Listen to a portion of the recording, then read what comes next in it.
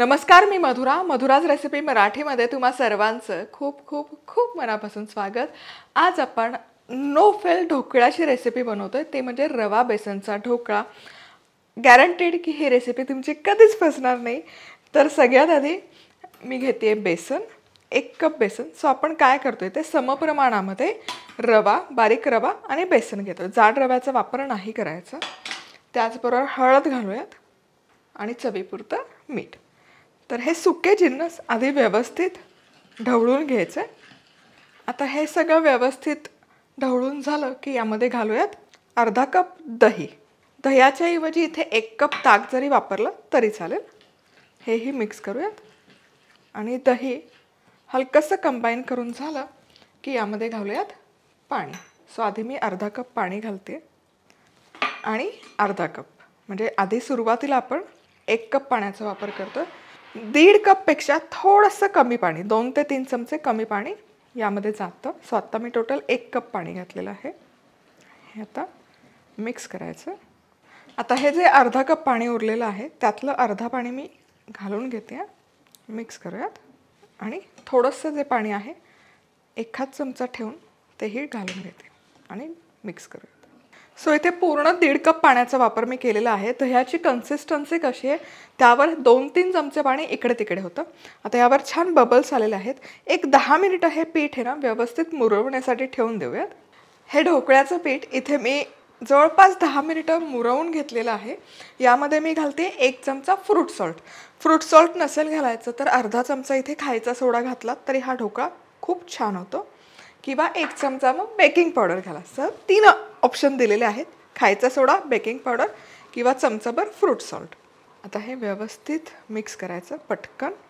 आणि हे तीनही ऑप्शन नको हवे असतील तुम्हाला तर मग काय करायचं? हे मिश्रण बनवून आदल्या दिवशी रात्री तयार ठेवायचं आणि दुसऱ्या दिवशी सकाळपर्यंत असं हे मूर्त किंवा आंबतं आणि मग सोडा बिडा काही नाही घातला तरी ढोकळा भारी होतो. आता इथे हा आठ इंचाचा ट्रे आहे. यामध्ये हे मिश्रण घालायचं. आणि आता हे ढोकळा व्यवस्थित वाफवून घेऊयात. तर इथे एका भांड्यामध्ये पाणी मी गरम करायला ठेवलेलं आहे. खाली एखादा स्टँड ठेवते. हा ट्रे त्यावर जाईल. आणि एक बारा ते पंधरा मिनिटं व्यवस्थित हा ढोकळा स्टीम करून घेऊया ढोकळा आपला वाफवतोय. तोवर इथे मी पाणी घेतलेलं आहे. एक वाटी पाणी एक चमचा साखर आणि ही साखर व्यवस्थित विरघळवून घेऊ मी याला फोडणीमध्ये पाणी शक्यतो नाही घालत. का होतं ना फोडणीत जर पाणी घातलं तर त्या फोडणीचा जो खमंग किंवा चुरचुरीतपणा आहे तो पूर्ण निघून जातो. त्यामुळे पाणी हे असं शक्यतो सेपरेट करून ढोकळ्यावर घालून घ्यायचं. ढोकळा इथे मी जेमतेम बारा मिनिटं वाफवलेला आहे. खूप वाफवायची गरज नाही आहे चेक करेल टूथपिक घालून बघायची. छान अशी क्लीन येते. त्यावर बॅटर अजिबात चिकटत नाही ढोकळा आपला छान स्टीम झालेला आहे.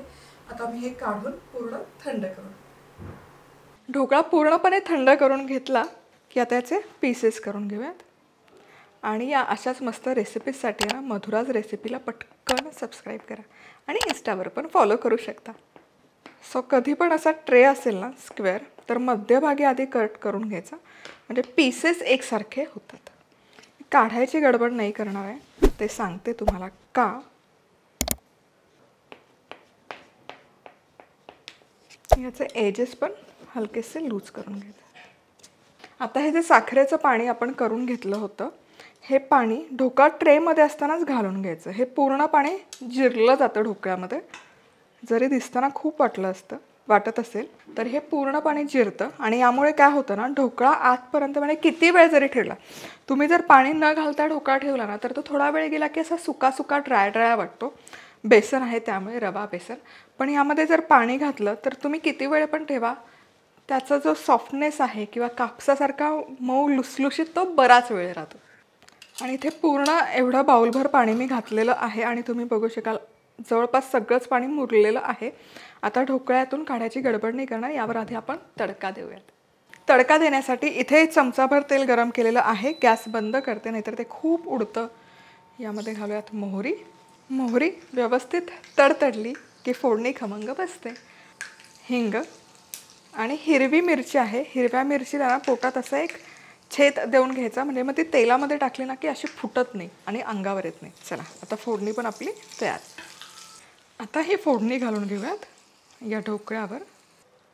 कॅपात. आणि बारीक चिरलेली कोथिंबीर. आणि आता आपण ढोकळा आहे ना ट्रेमधून काढूयात. येस तुम्ही बघू शकाल. मस्त निघतो ढोकळा. आणि जाळी बघा खूप छान जाळी आलेली आहे. आणि यामध्ये जे पाणी घातलं आहे त्यामुळे तो छान असा सॉफ्ट राहतो. क्या बात आहे ठेवूयात. हे या पद्धतीने ढोकळा केला ना तर तुमचा ढोकळा कधीच फेल होणार नाही. परफेक्ट अशी ही रेसिपी आहे.